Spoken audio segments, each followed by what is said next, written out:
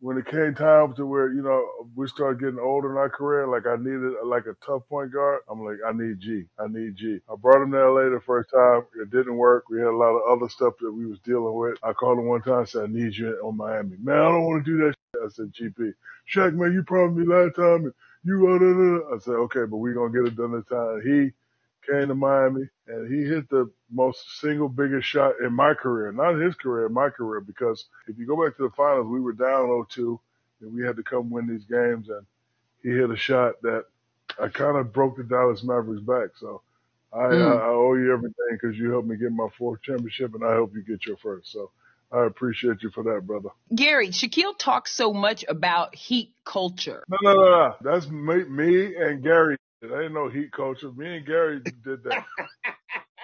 Me, Gary, Alonzo, D Wade, and Jason Williams. That's how. If you go in 2006, who won the first championship for the Miami Heat?